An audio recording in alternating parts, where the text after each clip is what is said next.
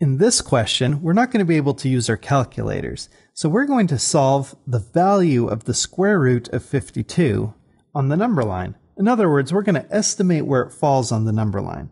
So I'm going to start off by just writing it on a blank number line right here. I don't know where that falls yet, and I won't write in the numbers just quite yet. So I need to find out what two integers are going to go between the square root of 52.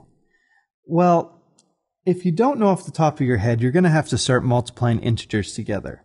You know that 2 times 2 is 4, 3 times 3 is 9, so you're probably not going to start with those numbers that are so low. Instead, we might start with a number like 6 times 6 is 36, or 7 times 7 is 49. Hey, 7 times 7 is 49 seems to be working and getting us pretty close. So 7 times 7 equals 49. In other words, the square root of 49 equals 7. Okay, the square root of 49 is definitely less than the square root of 52, and it's pretty close. If you're not sure, why don't we try 8? 8 times 8 is 64. So the square root of 64 would then be 8.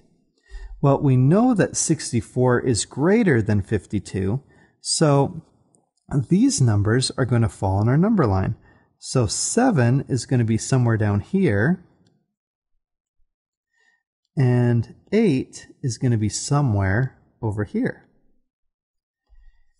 Now, if that doesn't make sense, if why we know that the square root of 52 falls between there, you may consider looking at it in terms of the root.